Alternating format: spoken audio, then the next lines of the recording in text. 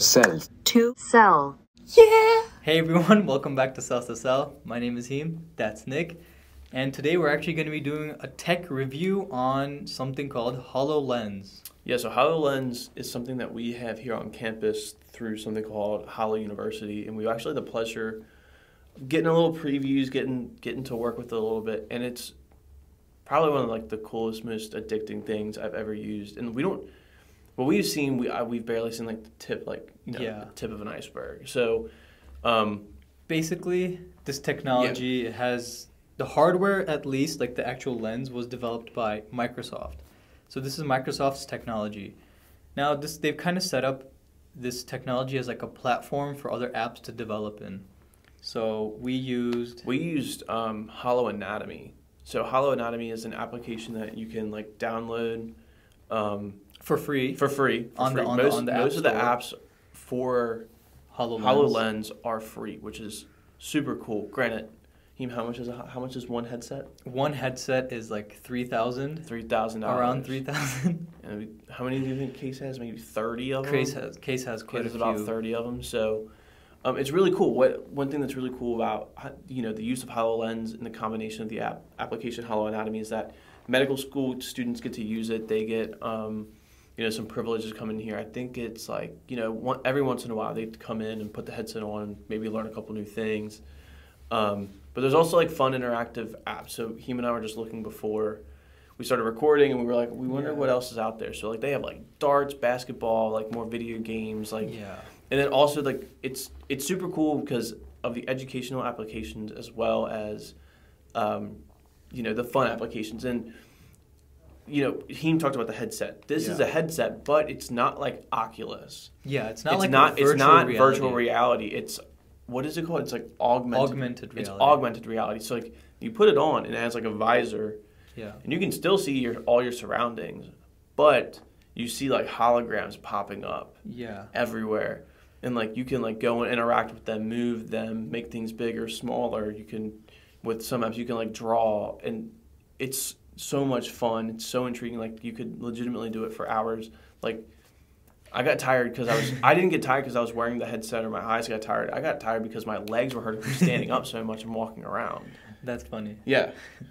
I mean, it shows you how like amazing this thing is because you don't want to leave it, and like it's not like a television screen in front of your eyes where you get a headache from it. mm-hmm. I don't know. We sp- you spent like an hour at least completely in is submerged in it, and like, let's say for example, if let's say Nick was the teacher, okay, he was teaching and I was a student.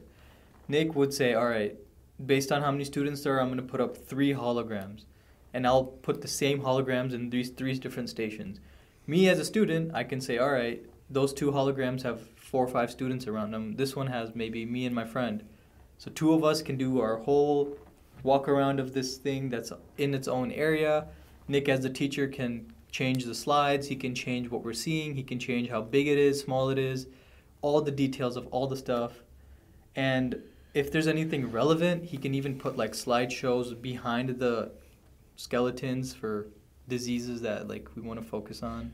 Yeah, I think, I think that like the educational opportunity for these, that like this technology is unbelievable, and I've always been a big proponent of technology in classrooms and using technology to like further people's education because I am somebody who learns like hands on. Like if I have something new that I get to like play with, like I will learn that and pick it up so fast and fall in love with it. Like Yeah. that's why like, you know, I just fell in love with like anatomy and like biology and like human sciences because, you know, my in high school, like I was we were able to have labs and we were pipetting and doing a bunch of different things and it was so much fun.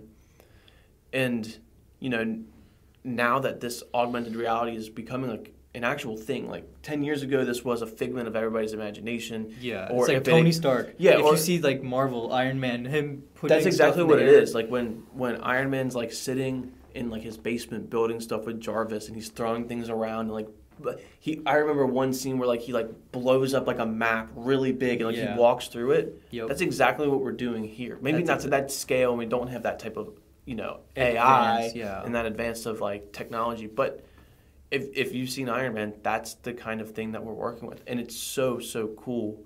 And I think that Holo Anatomy is just like, you know, the very beginning. beginning. It's, It's the like- very beginning of how augmented reality is going to be used in classrooms and out of classrooms. I could see. Do you remember? Do you remember the technology Google Glass? Yeah, yeah. So So my mom. So okay. So it was. It was a proto. They had it prototyped in like two thousand. I thought this was like When was when was Frozen? 15, When was 14, Frozen 15, huge? 16. When Like- was like the movie Frozen like really big? Like I might have been. It might have been like 2011, 2012. I was still in middle school. Yeah, yeah. and my 13. mom, my mom worked was you know kind of working at her at the college she teaches at, and her uh, her boss, he was a big tech guy. He got my mom into Apple, which is Mhm. hilarious, and because now we all use Apple products Yeah. because of her. But he had the opportunity. He like got his name drawn to get a prototype of Google Glass. Wow. And my mom brought it home one day, and I remember she. I'm like, can I play? Like, I was so excited to play with it. I was like, this is gonna be so cool. This is the coolest thing ever. This, like, no one's ever gonna use phones. No one's. It's gonna be like right here. Uh huh. And I got to put it on, and like, all it was was like a frame of glasses, and then just a piece of glass right here, and like the swipe bar was here, and you did had like tap stuff, and it was almost like augmented reality, but like it was just like right here, Wait, was it like this? kind of like how the visors are. Uh huh. right? So the there was just like, if I take off my glasses, now I can't even see myself in the camera. If I take off my glasses, so imagine that it's like on the bridge of your nose and like over, and it's on your ears, and then just right here, just right in front of your eye, like just out of range. Where if you're looking forward, it'd be like out of focus. But so it, like, you don't if see you look, things everywhere. but like correct. But if you look up towards the glass, you see all the information, and you can like swipe it and change it. Ta- you would tap on it. I never. kn- I That's- never. Google's been ahead of their time with that kind of stuff. I've never, but like, But I used it and it was cool, and there was a ton of there were a ton of bugs, but after I, my mom gave it back, like I never heard about it again. yeah. No one like no one used it. It didn't catch, you know, kind of like they expected to, and that's like the I guess a big story. Like we can pivot towards like being entrepreneurs. Is like sometimes you have like the coolest technology ever, and like it's just the wrong time. Like It's just the wrong Google was so ahead of its time. I'm sure if Google, if Google Glass was coming out now and had, you know, these super advanced iPhones and these super advanced Google Pixels and like how you could connect them, I think that Google Glass, like we'd walk around and we'd see probably every one in a hundred people just wearing Google Glass, like looking, like while they're waiting for the like the bus or something, just like playing on it. Now, you know how when phones came out, texting and driving was the unintended consequence people didn't see coming? Right. I feel like with Google Glasses, if you start augmenting things in reality, Yeah. you're making people step out of reality. You know, like they have to, like me and you, while just doing this, we ran into each other a couple times. yeah. Like imagine people driving with glasses. They're looking something up on the internet, not even on their phones. Like now they have glasses. Okay, that's dangerous. Yeah. Okay. I think it's different though because, well, it's not different. I'm sure, and I'm sure Google thought of like those safety precautions, and there's probably like just like your f- like our cell phones now know when we're going past like going a certain distance at a certain speed limit, like at a Mhm. certain speed, Mm-hmm. and you get the "Are you driving?" question, and you have to Ah. like say, "No, I'm not driving." Like they know, like the technology knows. Yeah. I watched I watched a really cool video on AI this weekend. Um, it was like a report just like about what AI is, how it's changing, and like how it's going to affect us. And um, it's crazy how like the guy pointed out how much AI is around us already Yeah. that we don't even realize because like AI is only AI when it's brand new. When it's put into our lives, it's just seen as like normal. Mm. So like even when you type in our podcast name, cells to sell, and I'm sure when you get to cells to, it probably autofills cell. Hmm. That's AI. Like it already knows what you're doing from it, it learned that hey, you look this up every every Tuesday and Friday. Thank you very much. And um, you know, it's like, oh okay, like Tuesday and Friday, boom, they're gonna look up cells to sell today. And like that type of AI, like we don't even think about that. Like our car like I don't like our cars. A, mm-hmm. like AI, like when I get into my car and my Bluetooth is already on and it just automatically connects. I don't have to manually go in and do it every time. You know, sometimes like at very specific times, like if I'm when I was working last summer in a job, I would pretty much have the same schedule to like drive, right? You want to get to work by eight thirty, so Right. maybe you leave at eight fifteen, whatever, depending on how close you are. I s- my Apple Maps nowadays, when I put my phone out at certain times, I'll get a message saying, like a notification saying, "Are you headed to this place?" Like it'll it'll know like just based on the time of and the day of the week. It's like you're probably going to go to work. No, every every Saturday, every Friday and Saturday at three o'clock, my phone would tell me how long it would take me to get to the Montgomery boathouse where I valeted. Because I had Oh to be there God. at four o'clock, and it would tell me at three o'clock, "Hey, it's a twenty-five minute drive. Hey, today it's a fifteen minute drive." And like, again, we just look at that like, oh, okay, and we don't think like, dude, our phones are noticing what we're doing, where we're Mhm. going, our location, all that kind of stuff, and that's absolutely wild to me. I like one thing that's cool is like I wear like an Apple Watch every day, and like when I work out, like there's definitely AI in there, like being like, I've always wondered how. Yeah. I've always wondered how this is able to like read my heart rate. I know that that, there- that there's lasers Mhm. that shoot out of the bottom, but I'm always curious on how it's. It seems so accurate. It's cr it's so wild. It's so wild. AI and t- AI and technology and the combination of healthcare and entrepreneurship where it's going.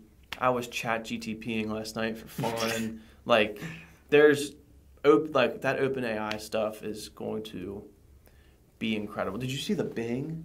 Yeah, I've Thing- tried using it. I'm on waitlist. Some guy was using it, and the AI told him that uh, the AI said that I love you and you should leave your wife. Whatever. I'm Isn't that crazy? That's insane. Isn't that crazy? And you know what? You know what Microsoft said? They said, "We don't know why he said that." It's like, ooh.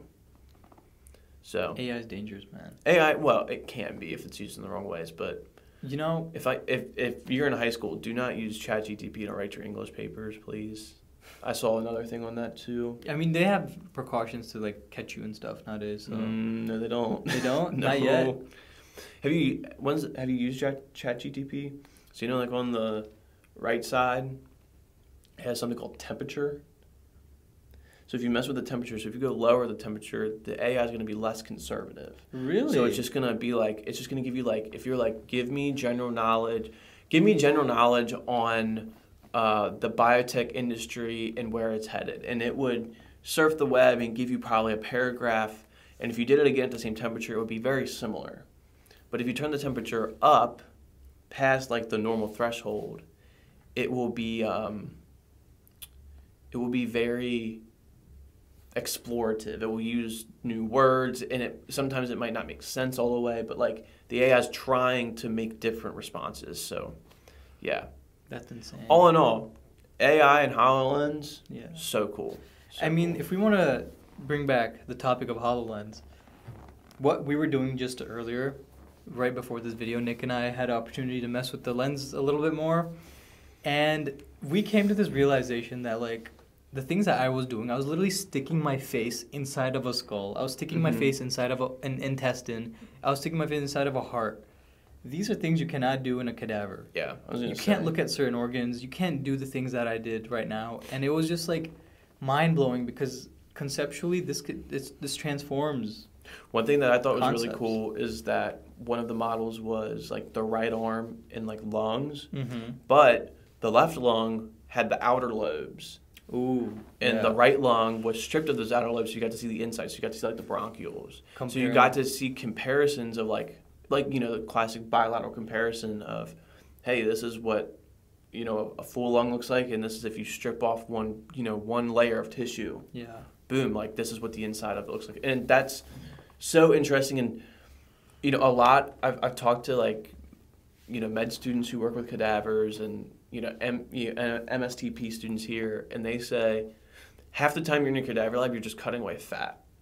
yeah Like that's all you're doing. Like you barely and it see stinks and and it's it gross. stinks and like not everybody gets like the same person. Like somebody you your definition of normal might be slightly different than somebody else's cadaver. Like yeah but what's cool is like they combine cadavers. Like you can go and like look at other people's to see well like maybe maybe your cadaver has cirrhosis of the liver and it's all dis you know disformed, but you can go see somebody else's liver who is healthy. So There's something Rick said today. By the way, Rick is somebody that works for Holo University. Um, he does a lot of the demos here.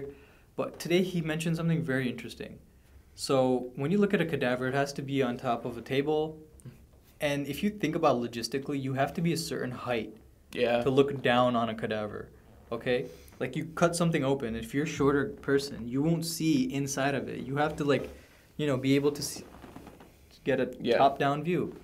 This though, you can be in a wheelchair, you can be any size of a person and manipulate the model to be so well laid out where you can just easily just read it, understand it, and it's just like it's like leveling the entire field for any any Yeah. any person, I no matter how what they look like. I think it's cool that this is portable too. Yeah, Like, say some schools miraculously got enough money to give each child, like each student, a HoloLens to take home for like a night to study their anatomy, right? And they give them like you have to put a QR code on the floor to like get everything like yeah, everything like centered. But imagine you just go home in your living room and like you get to study anatomy for 45 minutes with the slides that you were given that night through Holo like through Holo Anatomy.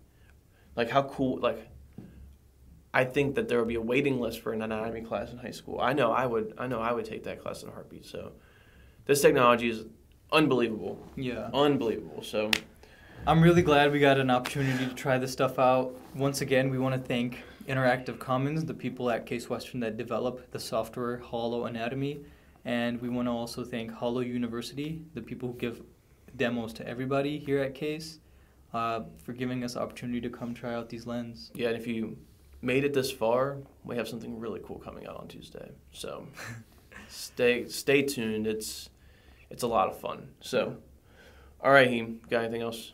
No, that's All all. right, what a conversation about AI. Yeah. That was fun. I'm glad you took it that way. That was that was interesting. Well, I mean, it was a cool pivot. So, anyways, I want to say thank you guys for watching another episode of Cells to Sell. This has been uh, Nick. That's Heem. See you guys on Tuesday. See ya.